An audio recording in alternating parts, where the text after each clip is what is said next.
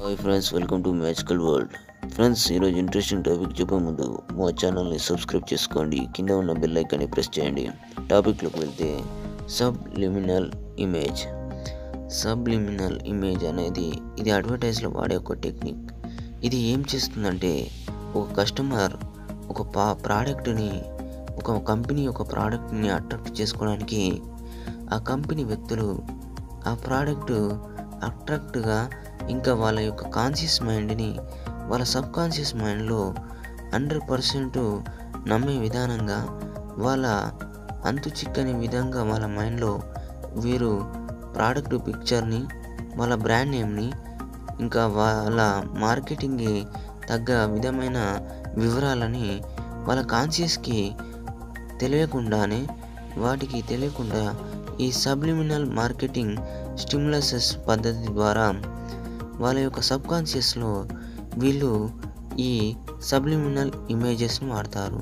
ఈ subliminal images అనే ఏం మెసేజ్ ఇస్తాయంటే వాళ్ళ యొక్క మాటల్ని నమ్మేటట్టుగా వాళ్ళ సబ్ కాన్షియస్ వాళ్ళ మాటల్ని నమ్మేటట్టు చేస్తుంది వాళ్ళ యొక్క వాయిస్ వాళ్ళు చూసే విధానాన్ని వాళ్ళలో ఒక ఐడియాని థింకింగ్ని రేస్ చేస్తుంది.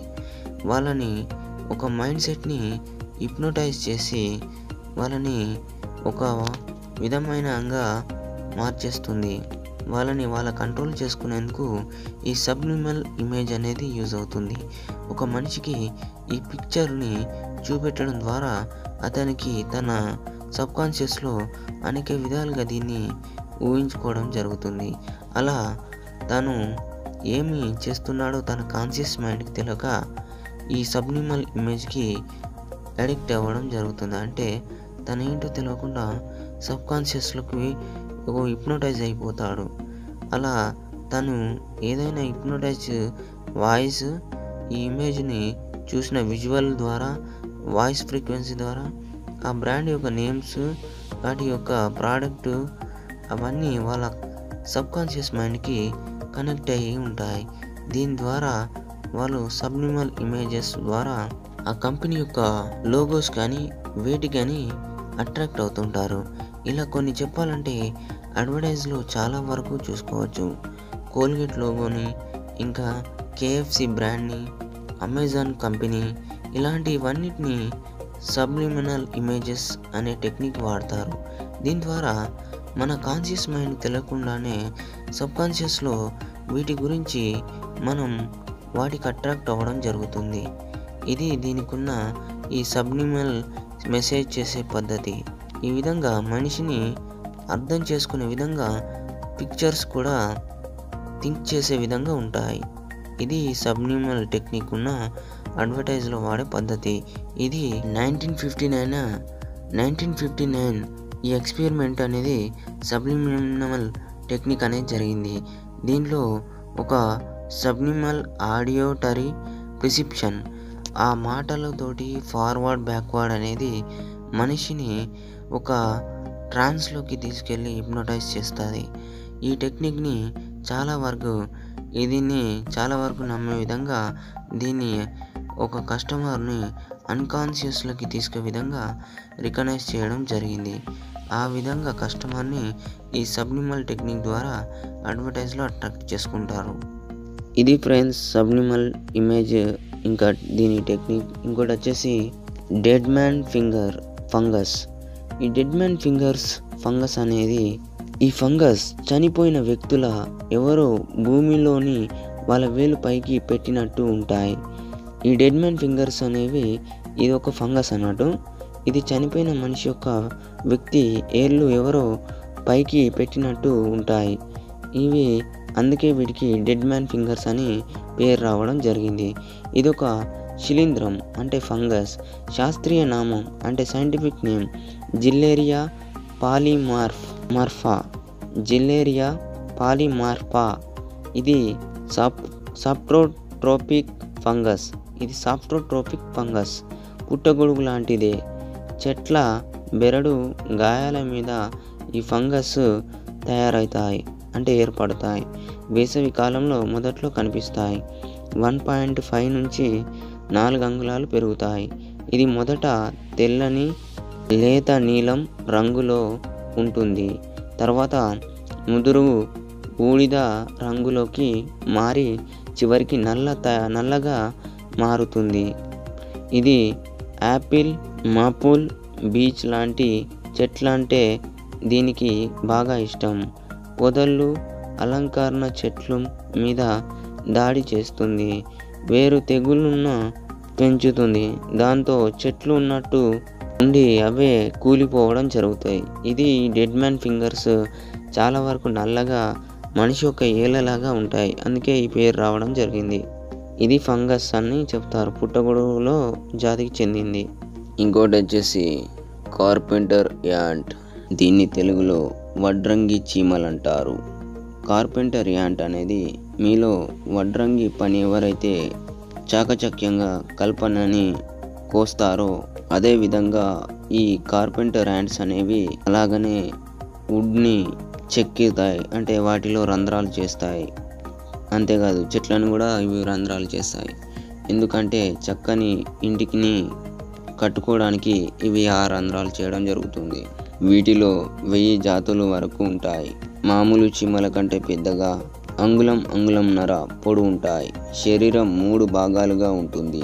కందిరి గల అన్నమాట కాదు. అచ్చం దానికన్నా భయంకరంగా ఉంటుంది. వీటికి నాలుగు కాళ్ళు రెండు ఎంటినాల్ట్ ఉంటాయి. నోటి భాగంలో ఉండే కొరాలతోనే ఇవి ఉడ్డుని కానీ చెట్లని కానీ కొరుకుతుంటాయి. వీటిలో నలుపు పసుపు ముదురు గోధుమ రంగులు చీమలుంటాయి. అంటార్టికా మినహా అన్ని చోట్ల ఇవి కనిపిస్తాయి. ఇవి ఉడెన్ని కొరికి తినడం కానీ చెద పురుగులని దానికన్నా ఇవి కొంచెం వెరైటీ ఎందుకంటారా? ఇవి చెక్కను తింటాయి. ఇవి ఈ ఉడెన్ని రంధ్రం చేసేటప్పుడు చెక్కేటప్పుడు ఇవి వాటిని తింటాయి. ఈ చెదరలు ఈ చెద పురుగులు అనేటివి వాటి మీద మట్టిలాగా పడి వాటిని తగ్గిస్తాయి. కానీ ఇవి చెక్కుతాయి. ఇవి బొద్దింక లాంటివి వాటిని తింటూ ఉంటాయి ఇంకా. ప్రోటీన్ ఉండే ఆహారం వీటికి చాలా ఇష్టం. పగలంతా హాయిగా గదుల్లో విశ్రాంతి తీసుకుంటూ ఆకలేస్తేనే అది రాత్రిపూటే ఆహారం కోసం బయటకు వస్తుంది వీటి సమూహానికి గ్రూప్గా ఉండడం జరుగుతుంది. వీటికి సంతాన ఉత్పత్తి సమయంలో రెక్కలు వస్తాయి. పునరుత్పత్తి తర్వాత మగవి చచ్చిపోతాయి. గుడ్లు పెట్టే ముందు ఆడచీమ కొత్త కాలనీని ఏర్పరచుకుంటాయి. వీటికి వెరైటీ వెరైటీ ప్రాంతాలు స్థలాలు వెతుకుంటాయి వాటి పిల్లలు పుట్టాక ఈ కార్పెంటర్ యాంట్ యొక్క పిల్లలు పుట్టాక వాటి రెక్కలు ఊడిపోతాయి.